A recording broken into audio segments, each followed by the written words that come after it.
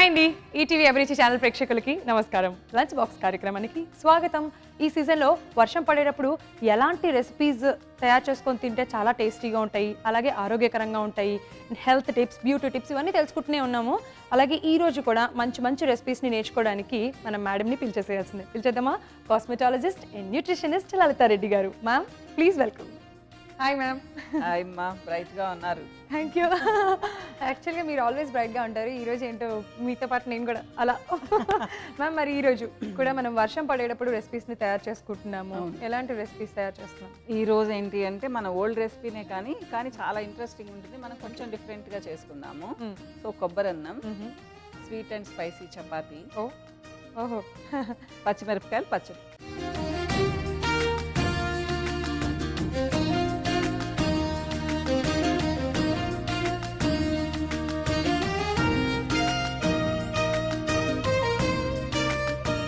విన్నారు కదా ఈ మూడు రెసిపీస్ ఎలా తయారు చేస్తారో తెలుసుకోవడానికంటే ముందు వాటికి కావాల్సిన పదార్థాలు అయితే సిద్ధంగా ఉన్నాయి. వెళ్ళి తెచ్చేసుకుంటాం మ్యామ్? ఓకే.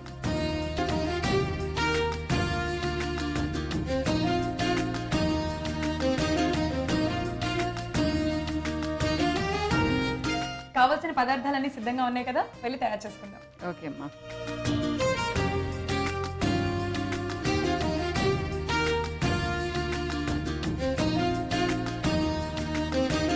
కావాల్సిన పదార్థాలన్నీ సిద్ధంగా ఉన్నాయి కాబట్టి ముందు ఏం తయారు చేసుకోవాలో మేడం అడిగి తెలుసుకుందాము. మ్యామ్ ఫస్ట్ కోకోనట్ రైస్ మా కొబ్బరి అన్నం తయారు చేసేసుకుందాం. కొబ్బరి అన్నమే. ఓకే కొబ్బరి అన్నానికి కావాల్సిన పదార్థాలు తెలుసుకుందాం.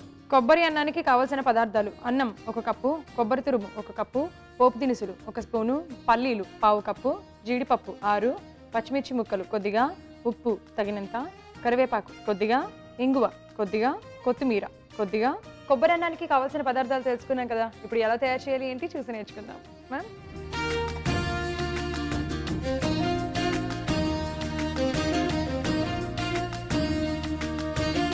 కొంచెం వేయండి. అన్ని పోపు దినుసులు చాలా ఉన్నాయి కదా. ఒక త్రీ ఫోర్ స్పూన్స్ అనుకోండి.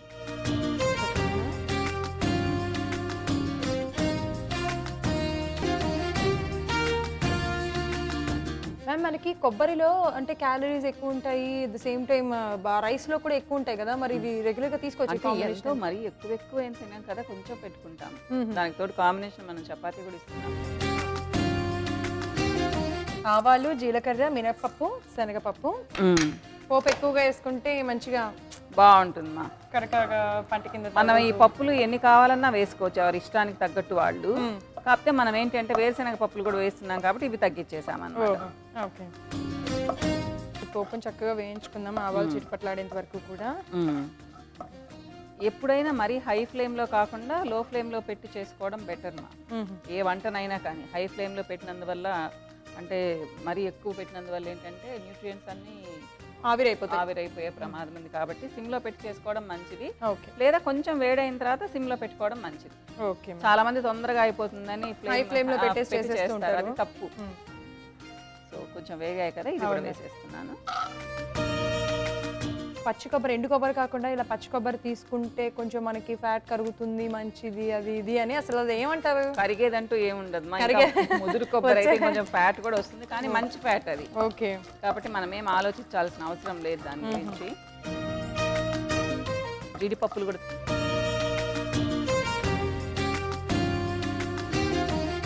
అసలు ఇంగు వేస్తే ఆ గుమగుమలే వేరు. అవునమ్మా. కొబ్బరి అన్నానికి ముఖ్యంగా చాలా బాగుంటుంది పచ్చిమిరపకాయలు. కొబ్బరి అన్నం అయితే క్షణాల్లో చేసేసుకోవచ్చు కదా అవునమ్మా ఈజీ ఇవన్నీ చాలా సింపుల్వి కూడా కదా. సో మంచి వాసన వస్తుంది కదా? మ్మ్. కరివేపాకు వేసేసుకున్నాము కరివేపాకు కూడా వేసుకున్నాము. నేను చక్కగా పచ్చిమిర్చి ఫ్లేవర్ ఇంకా దీంట్లో కారం ఏం వేసుకోవక్కర్లేదు ఇప్పుడు మనం స్పైసీగా ఉండాలని కొంచెం మిరపకాయలు కూడా ఎక్కువ వేసుకున్నాము. దీనికి తగినంతగా ఉప్పు వేసుకున్నాం అలాగే ఇది ఎవరి టేస్ట్కి తగ్గట్టు వాళ్ళు మా ఒక్కొక్క ఇళ్ళల్లో ఒక్కొక్కలాగా ఉంటుంది కాబట్టి ఎవరి టేస్ట్కి తగ్గట్టు వాళ్ళు.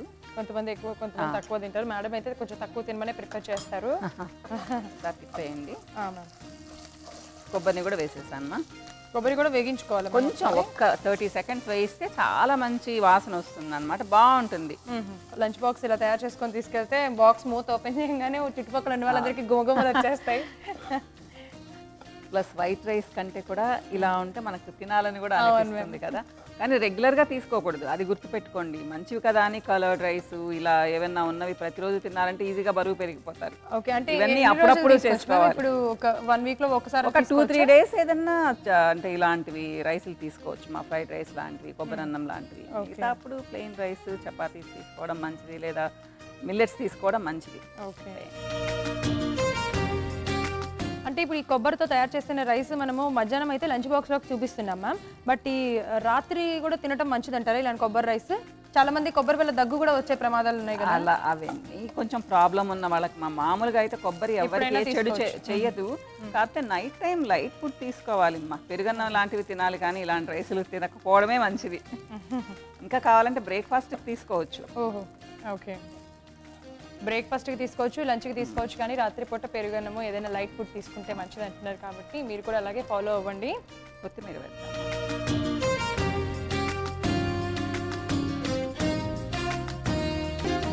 గుమగుమలు ఆడిపోతుంది మొత్తానికి అన్ని పర్ఫెక్ట్గా సరిపోయినట్టున్నాయి. ఉప్పు చక్కగా ఇందులో ఏం వేసుకోలేదు. చాలా సింపుల్గా క్విక్గా అయిపోయే రెసిపీ అన్నమాట. ఎవరికైనా చిన్న పిల్లలు కూడా చక్కగా ఎవరు మన ఇంటికి సడన్గా గెస్ట్లు వచ్చారు. వాళ్ళకి కూడా ఏంటంటే స్పెషల్ డిష్ లా ఉంటుంది కదా ఇది చేసి పెడితే వైట్ రైస్ కంటే కూడా. ఇప్పుడు సో అయిపోయింది ఇంకా. సో ఇప్పుడు సర్వింగ్ బౌల్లో తీసేసేనా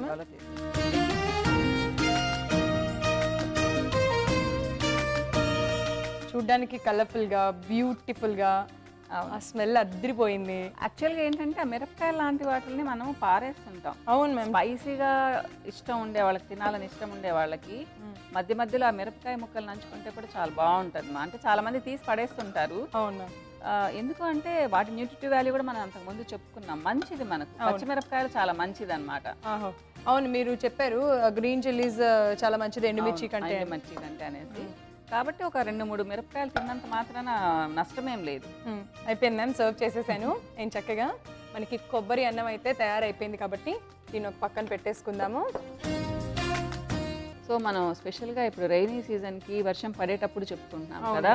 సో మధ్యాహ్నం అందరూ ఫ్యామిలీ మెంబర్స్ అందరూ ఉన్నప్పుడు వేడి వేడిగా ఇది చేసుకొని కానీ తిన్నారు అంటే మజా వస్తుంది. చాలా బాగుంటుంది. దానికి కాంబినేషన్ పచ్చిమిరపకాయల పచ్చడి. ఇది కొంచెం స్పైసీగా కూడా ఉంటుంది. రెండింటితో కలిపి తిన్నారు అంటే అద్భుతంగా ఉంటుంది అనమాట ఎంజాయ్ చేయొచ్చు వీకెండ్స్ ఇక్కడ నాకు నోరూరిపోతుంది సో వర్షాకాలంలో కూడా కొబ్బరి తీసుకోవచ్చు అయితే. హ్యాపీగా తీసుకోవచ్చు మా వర్షాకాలంలో తీసుకోవచ్చు శీతాకాలంలో ఇంకా బాగా తీసుకోవచ్చు. సమ్మర్లోనే ఏంటంటే కొంచెం ఆయిల్ ఎక్కువ ఉంటుంది కాబట్టి దాహం అవుతుందని ప్రాబ్లం ఉంటుంది. చెప్పాను కదా కుమారి ఇప్పుడు వన్స్ ఇన్ టెన్ డేస్ తీసుకుంటే నష్టం ఏంటి? అవును. ఏం ప్రాబ్లం లేదు. సో అది. సో కొబ్బరి అన్నం ఎప్పుడైనా ఎలా అయినా హ్యాపీగా తీసుకోవచ్చు. అండ్ ఇప్పుడు పచ్చిమిర్చి పచ్చడి తయారు చేద్దామన్నారు కాబట్టి పచ్చిమిరపకాయ పచ్చడికి కావాల్సిన పదార్థాలు తెలుసుకుందాం. పచ్చిమిర్చి పచ్చడికి కావాల్సిన పదార్థాలు పచ్చిమిర్చి యాభై గ్రాములు చింతపండు పది గ్రాములు వెల్లుల్లి రెబ్బలు ఐదు జీలకర్ర కొద్దిగా ఉప్పు తగినంత కొత్తిమీర తగినంత.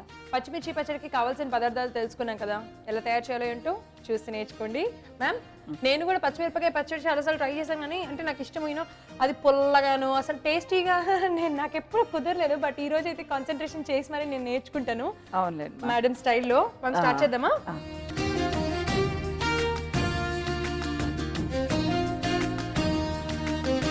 సో ఇది చాలా సింపుల్గా మన ఇంట్లో ఏమీ లేకపోతే కూడా ఇవి ఎప్పుడూ ఉంటాయి మన ఇంట్లో. తక్కువ చేసేసుకోవచ్చు. ఓకే. చాలా ఈజీగా అయిపోతుంది. జస్ట్ ఫైవ్ సెవెన్ మినిట్స్ లోపల అయిపోతుంది. అవును. ఇప్పుడు పచ్చిమిర్చి పచ్చడి కూడా మనము ఐ మీన్ వీక్లో ఒక టూ త్రీ టైమ్స్ తీసుకోవచ్చు అంటారా? ఐ మీన్ ఇష్టం పడిన వాళ్ళు? నేనైతే పచ్చళ్ళు రెండు రోజులే తినమని చెప్తాను మా వారంలో. మనం చూపిస్తున్నాం. అందులో ఇది బాగా స్పైసీగా ఉంటుంది. మనం పెరుగు కలిపి కూడా చూపించాం. అలాంటివి అయితే తినొచ్చు. రోజు కూడా తినొచ్చు. ఎందుకంటే పెరుగు బ్యాలెన్స్ చేసేస్తుంది. రోజు ఇలా పచ్చిమిర్చి పచ్చిమిర్చి తిన్నారు అంటే పొట్ల మంట పుడుతుంది.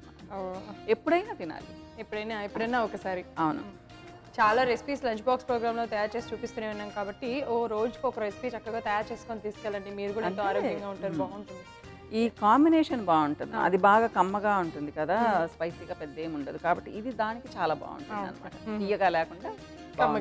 కారం కారంగా ఉంటుంది.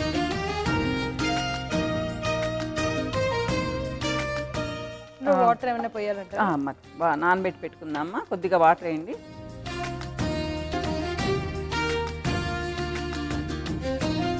కొంచెం వేగుతున్నాయి కదమ్మా జీలకర్ర వేసేద్దాము. దీనికి కూడా మనం ఎక్కువ ఇంగ్రీడియంట్స్ కావాల్సిన అవసరం లేదు. ఏ, జీలకర్ర అవసరం లేదు. ఎలాగో ఇంట్లో రెగ్యులర్గా ఉండే ఐటమ్సే ఒక నాలుగు ఇన్ని అవసరం లేదు. వెల్లుల్లి రెబ్బలు కూడా ఒక ఫైవ్ సిక్స్ వేసుకుందామా? ఇప్పుడు మూత మూత? పెట్టేసేయండి కొంచెంసేపు మగ్గుతాయి బాగా. ఈ లోపల ఏంటంటే చింతపండు ఉంది కదమ్మా కొంచెం నానింది. మనం దీన్ని దంచుకుందాం ఓ దంచేసేద్దామా. కొంచెం కొంచెం.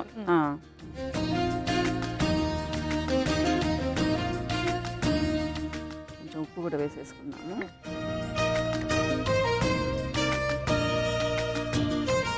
ఇది బాగా మెత్తగా చేసుకున్న తర్వాత పచ్చి పచ్చిమిరపకాయలు కూడా వేద్దాం. అలాగే.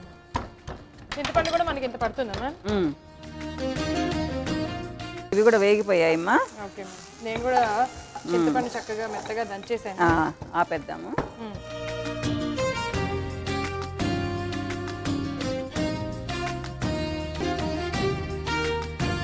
కొద్దిగా చల్లారిన తర్వాత దంచేసుకుందాము. ఈ లోపల దీన్ని ఇక్కడ పక్కన పెట్టేద్దాం. దాని తర్వాత ఇప్పుడు మనం స్వీట్ స్పైసీ చపాతీ. చపాతీ చేసేసుకుందాము okay. So sweet and spicy chapati చేద్దామన్నారు కాబట్టి స్వీట్ అండ్ స్పైసీ చపాతీకి కావాల్సిన పదార్థాలు తెలుసుకుందాం. స్వీట్ అండ్ స్పైసీ చపాతీకి కావాల్సిన పదార్థాలు. ఉడకబెట్టిన చిలకడ దుంపలు ఒక కప్పు గోధుమ పిండి ఒక కప్పు ఉప్పు తగినంత కారం తగినంత పసుపు తగినంత జీలకర్ర ఒక స్పూను నెయ్యి కొద్దిగా. స్వీట్ అండ్ స్పైసీ చపాతీకి కావాల్సిన పదార్థాలు తెలుసుకున్నాం కదా ఎలా తయారు చేయాలో ఏంటో చూసి నేర్చుకుందాం. యాక్చువల్గా ఒక బౌల్ తీసుకుందాము. ఓకే దీంట్లో బాగా మ్యాష్ చేసిన స్వీట్ పొటాటో వేసేద్దామా?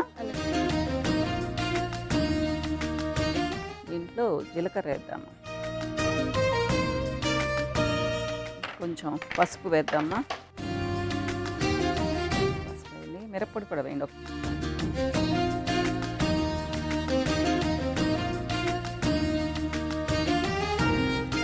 తర్వాత ఉప్పా మ్యామ్? ఉప్పు వేయండి. కొంచెం నెయ్యి వేయండి.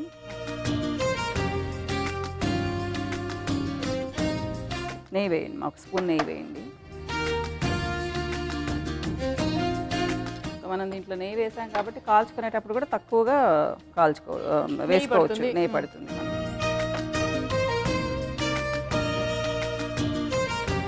ఉన్న మనకి తెచ్చిన ఇంగ్రీడియంట్స్ అన్నీ కూడా ఒకేసారి వేసి చక్కగా పిండిలో కలిపేస్తున్నాం. చిలకడ దుంపలు లేదా మేము గెన్సిగడ్డలు అంటాము. ఓకే. ఓకే. చిలకడ దుంపలు వేసాం కాబట్టి కొంచెం స్వీట్ అలాగే కొంచెం కారం వేసుకున్నాం కాబట్టి కారంగా ఉంటుంది. మనం పచ్చిమిర్చి కాకుండా మిరప్పొడి వేసామన్నమాట.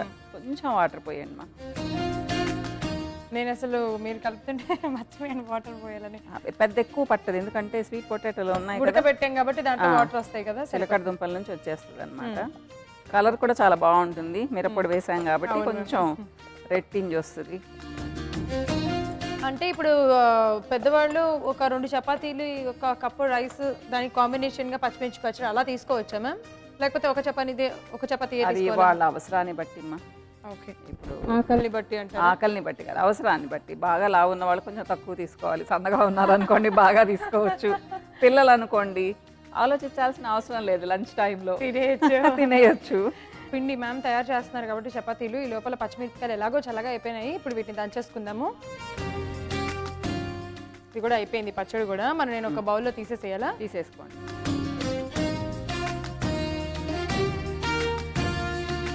మ్యామ్ నేను స్టవ్ ఆన్ చేసి పాన్ పెట్టేనా? పెట్టేయండి తీసేసి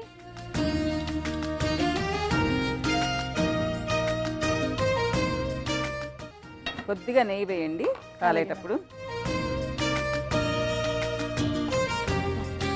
కొద్దిగా వేడైన తర్వాత మనం చపాతీ తయారు చేసుకుందాము. లైట్గా నెయ్యి వేస్తే సరిపోతుంది కదా మ్యామ్? చూడ్డానికి కూడా చక్కగా మంచి ఎల్లో కలర్లో బాగుంది. ఎల్లో అండ్ రెడ్ అవును.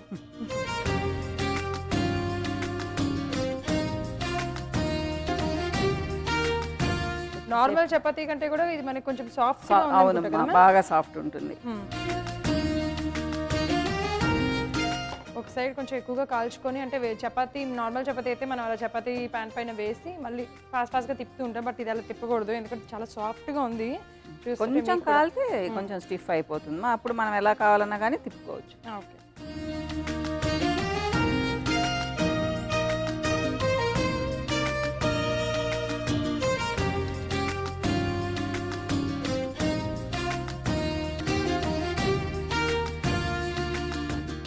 ఓకే కలర్ వచ్చింది చక్కగా ఇప్పుడు. చాలా అంత కాలితే చాలమ్మా. సర్వింగ్ ప్లేట్లోకి తీసేసుకుందాము. అలాగే.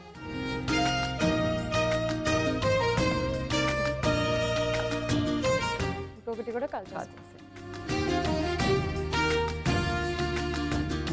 ఇంకొక సైడ్ మనకి కాలితే సరిపోతుంది. చక్కగా కాలిపోయాయి స్టవ్ ఆఫ్ చేసి ఆపేయండి.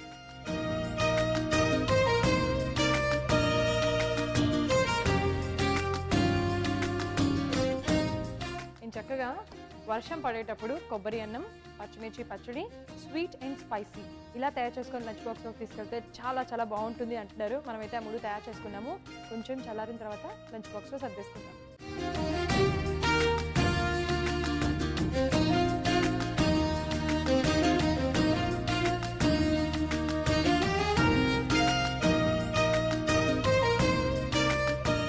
కొద్దిగా చల్లారే కాబట్టి ఇప్పుడు లంచ్ బాక్స్లో సర్దేసుకుందాం. ఇదిగోమ్మా ఇది చపాతీలు పెట్టండి.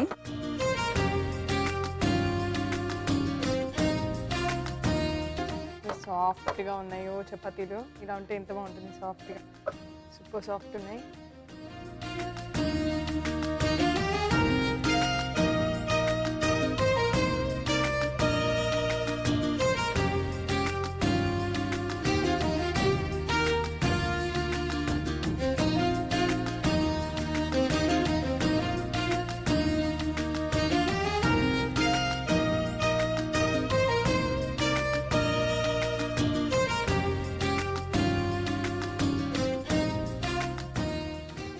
తయారు చేసుకున్నాం కాబట్టి ఇప్పుడు దాన్ని లంచ్ క్యారియర్లో పెట్టేసుకుందాం.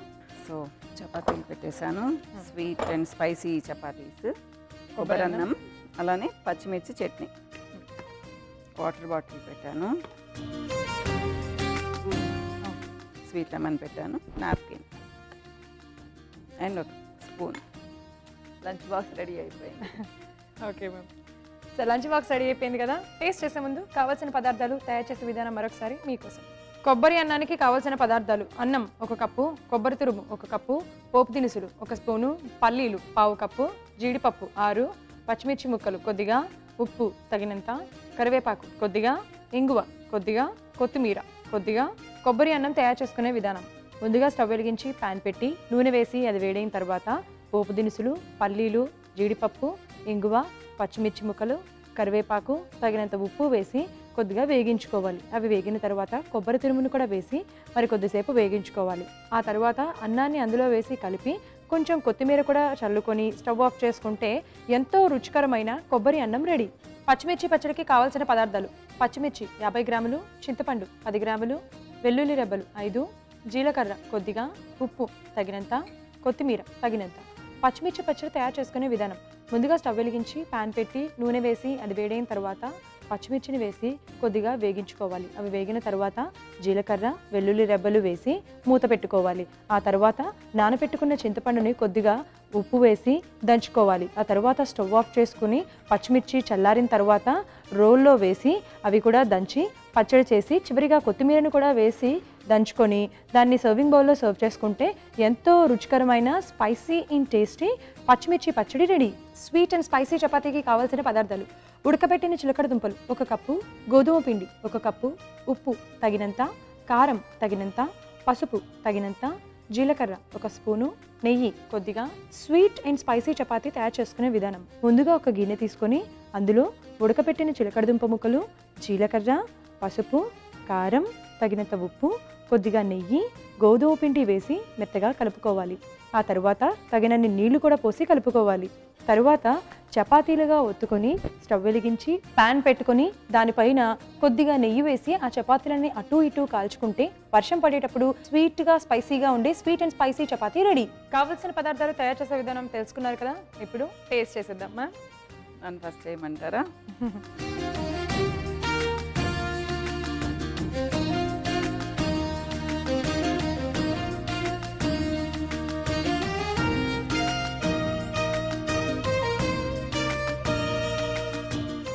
నేను చెప్పడం కాదు మీరు చెప్పండి.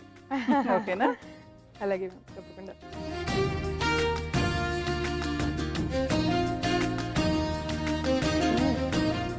చాలా చాలా టేస్టీగా ఉంది.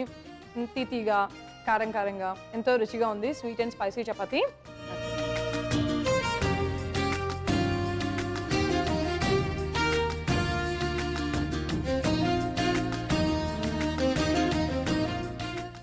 చాలా చాలా బాగుంది కొబ్బరి అన్నం బాగుంది కమ్మగా అందులోకి పచ్చిమిర్చి పచ్చడి కారం కారంగా కొంచెం పుల్లగా ఎంతో టేస్టీగా ఉంది. సో వర్షం పడేటప్పుడు లంచ్ బాక్స్ ఇలా తయారు చేసుకొని తీసుకెళ్తే ఆహాహా ఎంత బాగుంటుందో తెలుసా? మీరు కూడా అలాగే తయారు చేసుకొని తీసుకెళ్ళండి. So ma'am thank you very much మంచి మంచి రెసిపీస్ మాకు పరిచయం చేసినందుకు. వచ్చే ఎపిసోడ్లో మరిన్ని రుచికరమైన వంటలతో మేమిద్దరం మీ ముందుంటాం enter this is Kumari M Lalitha గారు సైనింగ్ బాయ్